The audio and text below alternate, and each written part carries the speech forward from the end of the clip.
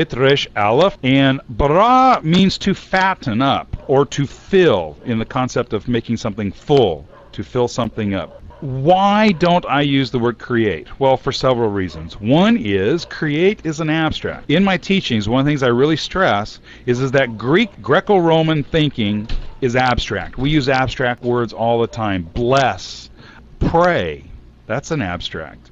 Uh, believe, that's an believe's a good one. I believe in God. What am I saying? I'm, I'm saying that I know this from a Greek perspective as an abstract. I'm saying I know God is God and God's going to do what he says, right?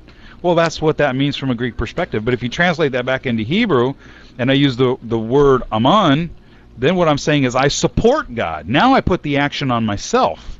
I support him. Create is an abstract concept. If creating is an abstract, and also, by the way, what does create mean? Create, in the context of biblical studies, most people say that create means to make something out of nothing. In Genesis 1 1, God created out of nothing the heavens and the earth. We know that cannot be true. Cannot be true, or at least that concept of that word bara, because it says that, that God created Adam. Yet in Genesis 2 7, it says that he formed Adam out of the dust of the ground. So he formed him. He did not create him out of nothing. Ex nihilo, the Latin, ex nihilo. He did not create out of nothing. That's one of the problems with the word create. It's an abstract. Here's another one. I'm going to put that verse up again that I put up earlier. This is we're going to look at it again for another reason. 1 Samuel 2:29 Why then look with greedy eye at my sacrifices and my offerings which I commanded and honor your sons above me by fattening yourselves upon the choicest parts. That word fattening there is the Hebrew verb bara. It's the exact same verb found in Genesis 1 verse 1. Here they translate it as fattening again, we have to under, look at, at how these Hebrew words are used throughout the text. Genesis chapter 1, uh, and a lot of people ask me this, but then you're saying that God didn't create the heavens and the earth. That is correct. I am saying that God did not create the heavens and the earth. Well, where did they come from? I don't know. Now this is another difference between Hebrew and Greek. Greek goes, well, wait a minute. I I need to know when they were created. We have to know what is beyond the horizon. That's Greek thinking. Hebrew thinking is, I don't care. I don't know. I don't care. The Bible never says where the heavens and the earth came from. Never says. It simply says in Genesis 1:1 that God fattened the skies and land, or He filled them up. So Genesis chapter 1 verse 1 is a summary of the entire creation story, and I use that word creation loosely, by the way. So let's take a look at some other evidence. Let's take a look at the word bara in its its cognates and its roots because it's very important. Hebrew's a, a root system language. Uh, words are not dependent upon themselves. They come with roots and they come with um, cognates and they come with words that are related to itself. And by looking at all of these words and how they're related, we can better understand the meaning of each of these words. The word bara, another word that's related to it, this word comes from the root bara because bara is a root Okay, so let's take a look at that. This is going to be the word bari. It comes from bara. Genesis 41, verse 4.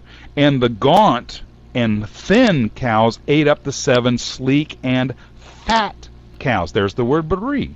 This is the word that comes from the verb bara, the word in question here. Also, if we look at some of the other cognates, some other roots that are related to this, we have barar, which means to to be clean. Where do you get soap? From fat. Bara, in fact, the ancients made soap. They made soap from fat. So barar is to be clean, which comes from fat. A barar of soap.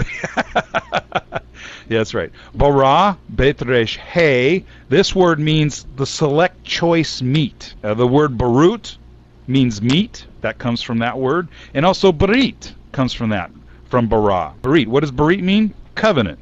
But more literally, more literally, the meat. Cut the meat. Now, the word karat means cut. So you, when the when the Hebrew says karat barit, it's cut the covenant or cut the meat. Literally, cut the meat. And that's the way they would make a covenant. It was they take the meat of the animal, they'd cut it in two, pass through the pieces. Jeremiah talks all about this and the significance of that. Bir means fat place, usually in the context of a place that's bountiful, fat place, a good place.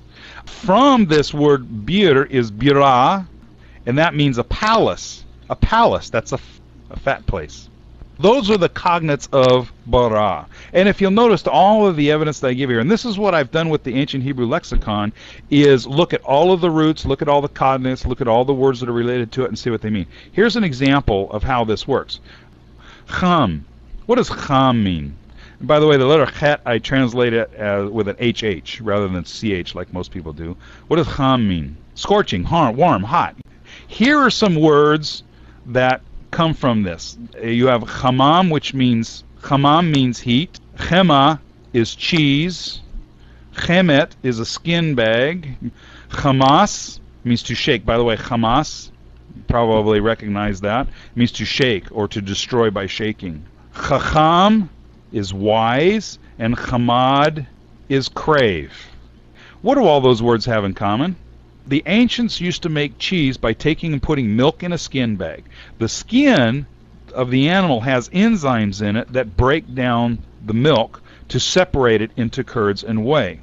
And then they would take the skin bag and they would hang it out in the sun and they would shake it to cause the separation. Cheese, skin bag, shake, all of these come from the root cham. Chamam, chama, chemet, Chama, and chamas. They all come from Chem. What about Chacham, wisdom, to be wise? Cham is written with two Hebrew letters, the letter Chet and the letter Mem. The letter Chet is a picture of a wall in the ancient pictographs, and it causes it's a separation from the inside to the outside, from one side to the other side. The Chet is a picture of a wall. The Mem is a picture of water. So what does Cham mean? To separate out water. It's exactly what the word means. You see how beautiful the Hebrew language is. It just totally amazes me time after time when I find these things that the Hebrew is like an onion. It's just one layer after another, after another, after another. If we're just reading the biblical text, it'd be like me saying to you, I'm going to take you all out to dinner. Okay, you have your choice. I can either give you a McDonald's hamburger or take you to a five-star restaurant. You're both you're getting meat in both places, just that one is a little bit better than the other one reading the English, just reading through the English text is like going to McDonald's. Whereas if you get into the Hebrew and understand these Hebrew words and Hebrew concepts, you're, you're at a five star restaurant. Anyway, so what does wisdom have to do with that? Well, wisdom actually is defined in, in the Bible as being able to separate good from bad. Wisdom which is related to this word cham because chacham, it comes from the root cham. Wisdom is the ability to separate out the good from the bad. Here's a verse that I always thought was very interesting. It's Isaiah 7:15. Cheese and honey or dates. The Hebrew word davash, it means a sticky gooey mass. Cheese and honey he will eat to know to reject bad and choose the good. What that verse is actually saying by eating cheese and honey you will have wisdom. Craving. What does craving have to do with all of this? Cheese is a delicacy. What are we supposed to crave, desire? What are we supposed to pursue? Play wisdom. You see how all of these things they come together. Anyway, I went through this whole thing about cheese to show you how important looking at the roots of a word is. And the same thing with bara. You can't just look at bara and say it means create and leave it that alone. You've got to look at the context of how that word is used throughout Scripture. What are its cognates? What are its uh, related roots? We saw that it meant fat, choice meat, these type of things. What did he fatten it with? This is chapter 1 is about. Days 1 through 3 are separating. Okay, here we have the idea of separating again. Day 1, God separates light from darkness. Day 2, Elohim separates the water and the sky. Day 3, Elohim separates the water from the land. So the first three days are about separating. The next three days are parallel with that. What did I say day one was? Separating light and darkness. Well, day four, he fills the light and the dark with the sun and the moon. Day five is parallel with day two. Day two is separating the water from the sky. Day five, he fills the water with the fish, the sky with the birds. Day three is parallel with day six. Day six, he fills the land with the animals and people. So that's what he filled the sky and the land with. It's all right there in Genesis chapter 1.